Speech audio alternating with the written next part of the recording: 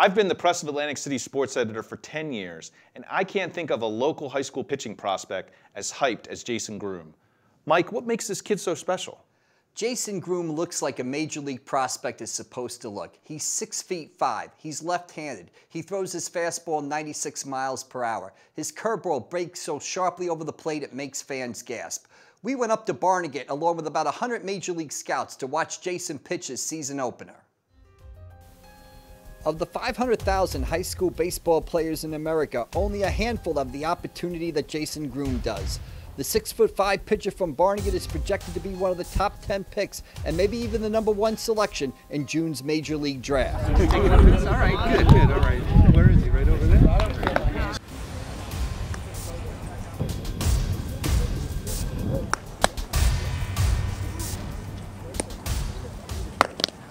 I know I'm very fortunate to be in my in this position, but I mean I'm just taking it all in. I mean I love playing baseball and I just, it doesn't really get to my head because I know like, I just want to be able to wake up and do what I love to do every single day. And it's just, I know I have a chance to do that by just playing baseball. And I mean, I love that.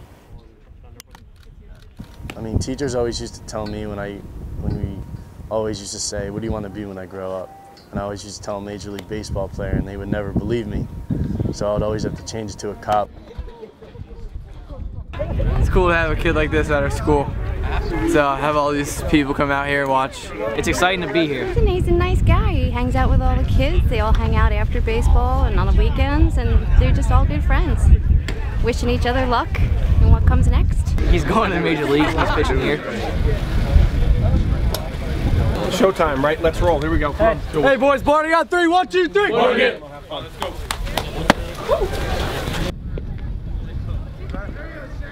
It's mainly just my mindset. I mean, I know they come here for one thing, and that's to watch me pitch, but I try not to let it get to my head because I know they're out there just critiquing my every move, and I know if I try and light up the radar guns, I'll overthrow a little bit, but when I just relax and pitch and just throw strikes, I mean, it, it, get, it speaks for itself.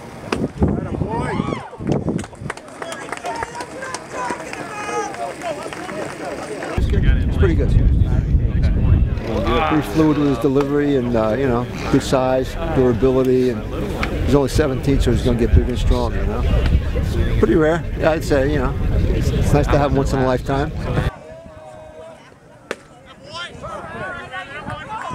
Did you have any idea growing up that he would be this talented or you know did he come out of the crib throwing yeah. the ball or what was it like he started throwing young uh, four to five he couldn't get a ball out of his hand and then once about he hit six years old, we focused on mechanics, you know, and he just he took a liking to it, and he he was just so coachable.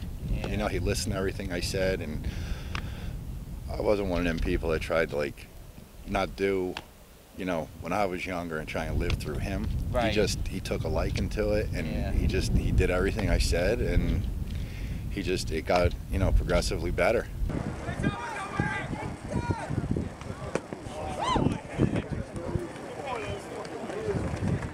So, Mike, where did this kid come from? Well, he grew up in Barnegat and he pitched at Barnegat his sophomore season, and that's where he first gained notice around the state. Pitched Barnegat to the South Jersey Group 2 final where they lost to Buhner 1 0. His junior year, he went down to IMG Academy in Florida. He came back to Barnegat for his senior year, said he wanted to play with his friends, guys he grew up with, and try to win a state championship. All right, so, you know, we talk about how much hype this kid is. Who does he compare to maybe now in, in the majors to give some perspective to, to people who don't really know him?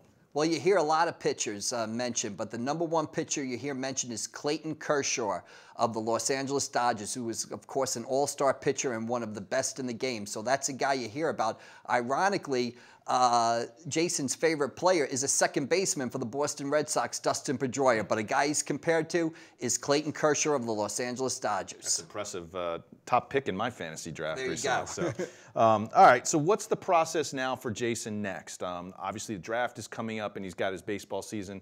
What, what are the next steps going to happen here? Well, he's going to pitch, uh, you know, every fifth or sixth day for Barnegat, and there's going to be hundreds of scouts, probably high-level major league personnel at each one of his outings, and you know, probably the hype will get bigger as the season progresses. As he said the other day, uh, it's only going to get worse; it's not going to get better. The first-year major league player draft is June 9th.